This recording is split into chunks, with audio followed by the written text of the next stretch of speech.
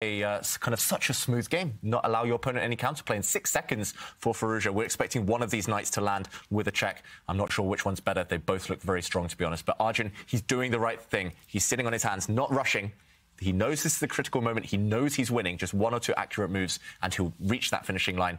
Now he's in calculation mode. He's trying to figure out which knight to give the check with, and uh, then which pawn to push.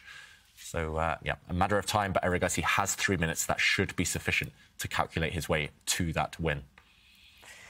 Six seconds, however, for Alireza Firouzja. That uh, is probably not enough to save this game. Uh, what a move. Again! Again. He's seen everything, and we have to show the justification here. He's actually giving up his knight because the black pawns are just too strong. And uh, let's jump in. Actually, well, we're going to see it on the board. this pawn is about to promote. The white rook has to stop it, and the other pawn, uh, other pawn joins. One of them is going to become a queen, and game over. 3 0. Game over. Arjun Erigaisi takes the match. He goes through to the winners' semi-finals, where he will face Magnus Carlsen.